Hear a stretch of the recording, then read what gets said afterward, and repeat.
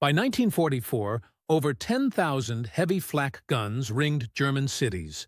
Flak meant Flugabwehrkanone. Germany rearmed in 1935. Friedrich Krupp AG led the 8, 8 cm flak 18 to 36. It fired 15 to 20 rounds per minute to 10,600 meters. From 1940, massive flak towers rose in Berlin, Hamburg, and Vienna.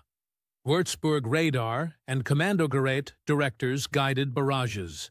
During Operation Gomorrah, July 1943, Hamburg's defenses hurled tons of shells at RAF bombers over Hamburg nightly.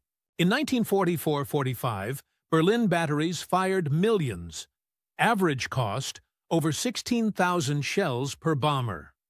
The flak arm tied down 900,000 personnel, reshaped Allied tactics, yet couldn't halt strategic bombing.